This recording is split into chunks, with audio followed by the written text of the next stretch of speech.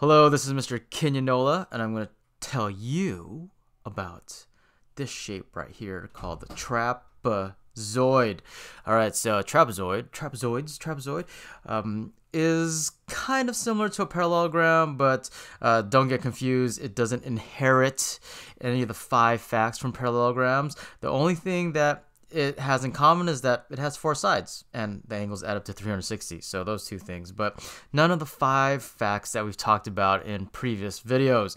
So trapezoid what makes a trapezoid a trapezoid? If you look at it closely look at it closely closely closely closely closely closely close one fact the main fact about trapezoids is that it has only it has exactly one pair of parallel lines. Look this line is definitely not parallel to this line because they're going in opposite directions. They're going to meet at some point in life. Uh, but these two will never meet. Oh, that's so sad. They'll never meet each other. Uh, so let's put one arrow here and one arrow here. So fact number one about trapezoids. Exactly, oops, exactly one pair of parallel sides. They won't ever intersect. It's so sad. In life, never intersect. Okay, uh, so what does that tell us? Well, let's name this trapezoid uh, T R A P. What an original name. Trapezoid trap.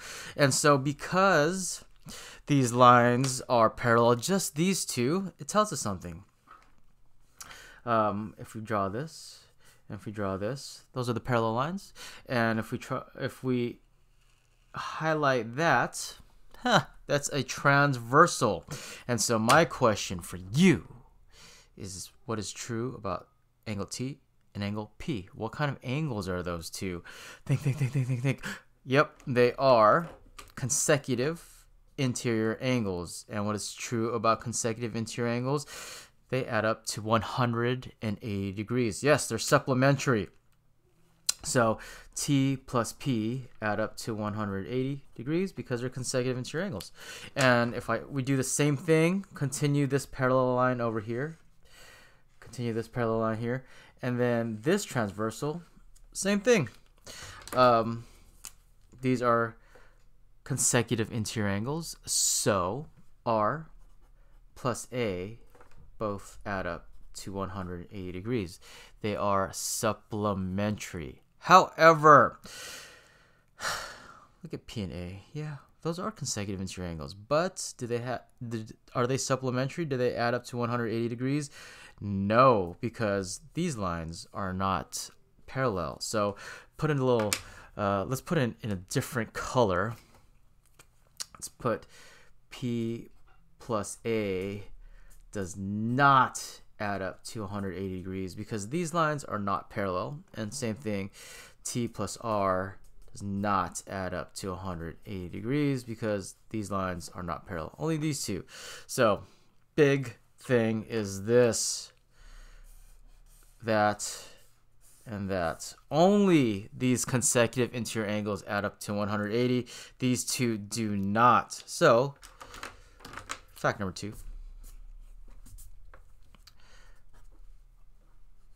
Only two pairs of consecutive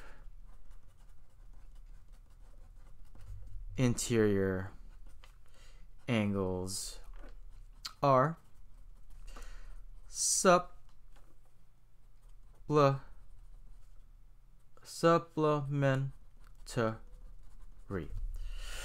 All right, so only the angles that um, are formed by that are sandwiched by the parallel lines. So T and P are sandwiched by the parallel lines. R and A are sandwiched by the parallel lines. So those are the only ones that add up to 180 degrees. These two are not sandwiched by parallel lines. So no, no, no. Okay, so for example, um, I'm gonna have my calculator just in case. So let's say that this angle right here is, hmm, uh, looks like an obtuse angle. So let's say that this is 132 degrees. What's What's the measure of this angle? Well, they're supplementary. So 180 minus 132, 48. 48. Yeah.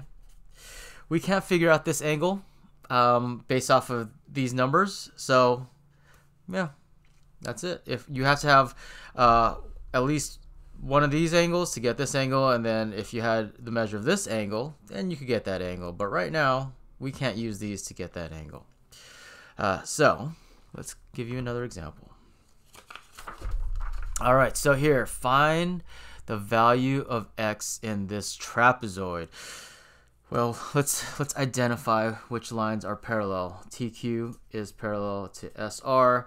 These are consecutive interior angles that are in between the parallel lines. So we can say that they are supplementary. 80 plus 21x minus 5 add up to 180 degrees. Let's combine like terms. 80 minus 5 is 75 plus 21x equals 180 degrees. And we're going to subtract 75 from both sides. 21x is equal to 105. Last step, divide by 21. x is equal to, I'm going to say 5, but if you don't believe me, I'm going to grab my calculator. And 105 divided by, not times, divided by 21 is 5. All right. x is equal to 5. There you go. There's x in this trapezoid. Whoa, so there's that. Oh, I reveal the next question, but you don't have the information for the next one. So, trapezoids. Uh, the next fact about trapezoids is this. If TP, see this line right here? This transversal, if you find the midpoint, and if you find the midpoint of RA, so let's just say it's right there, and connect the dots,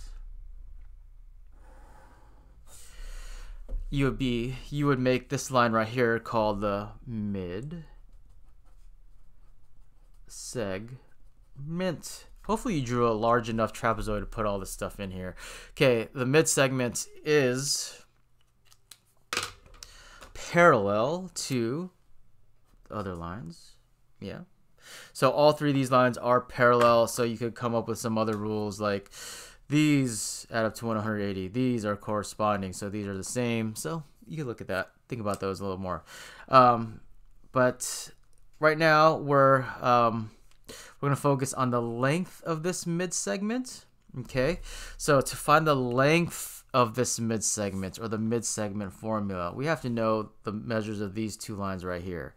This line right here, this side is called a base, so we're gonna call this base one and this side right here is called base 2 and this may sound familiar if you remember the formula for the area of a trapezoid b1 plus b2 uh, times h divided by 2 well the mid segment is just oh, is very close to the formula of a trapezoid. So to find the length of the mid segment it's the average of these two because these are midpoints. So it's b1 plus b2 divided by 2. So that's the formula for the mid segment. So let's just say, for example, well, let me see my example.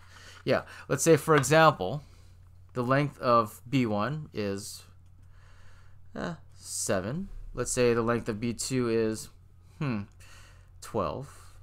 So what would the length of this mid segment be?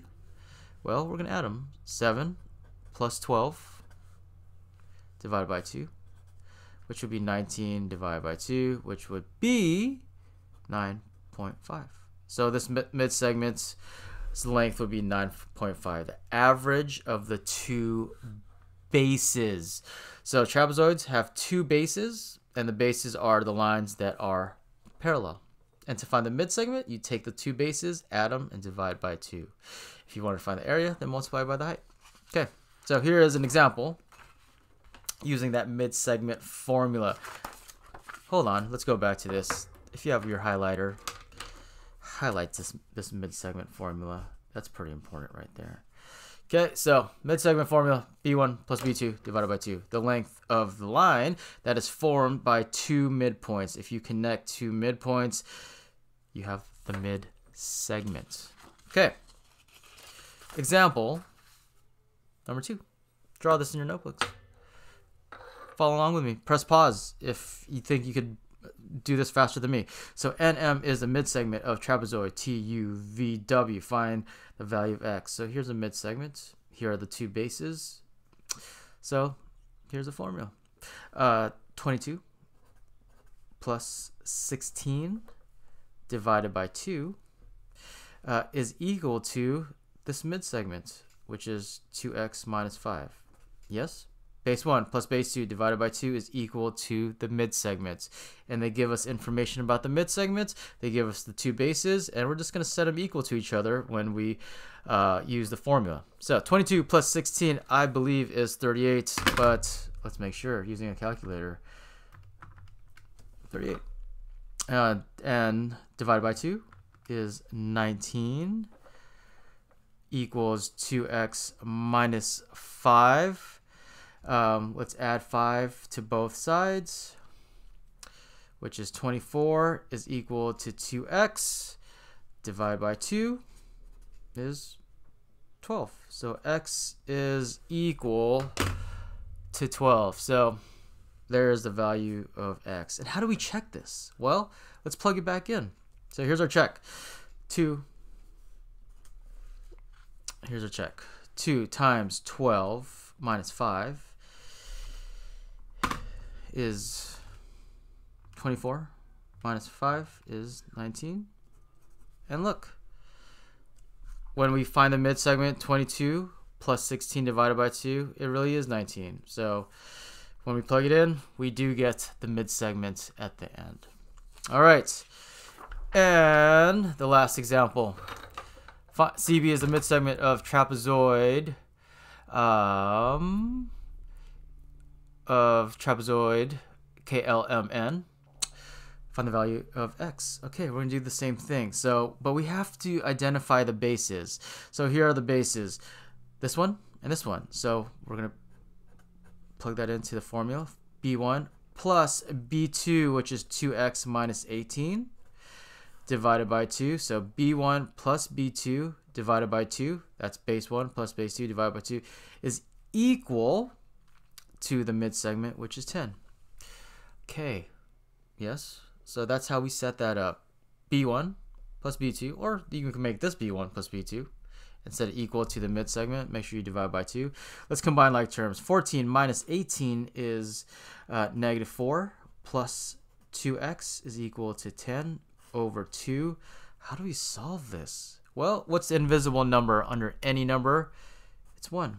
Let's cross multiply. 2 times 10 is 20 is equal to 1 times all this is negative 4 plus 2x. We're going to add 4 to both sides, which is 24 equals 2x. Divide by 2, and x equals 12. There's our answer. Now, um, let's see if that's really true. Let's plug that 12 in. Was 12 the... Oh, yeah, never mind. Yeah, 12 was the previous problem's answer. Okay, so, huh, what a coincidence. Now, don't don't think all the answers for trapezoids are 12, okay? It's just, it's a coincidence. So, let's plug this 12 in. 2 times 12 minus 18. Uh, 2 times 12 minus 18, 24 minus 18 is 6. 6 minus... Oh, sorry. No, no, no. Man, my math is messed up right now. 24 minus 18 is 6. So how does that help us out? Well, if we did the midpoint mid-segment formula, 6 plus 14 divided by 2 is 20. 20 divided by 2 is 10. And these match up. We do get the mid-segment when x is equal to 12. All right, so those are trapezoids. Uh, so just remember, exactly one pair of parallel sides, only two pairs of consecutive interior angles are supplementary, and the mid-segment formula is base 1 plus base 2 divided by 2, the average of the two bases. All right, that's it. Trapezoids, have a great day. Mr. Q.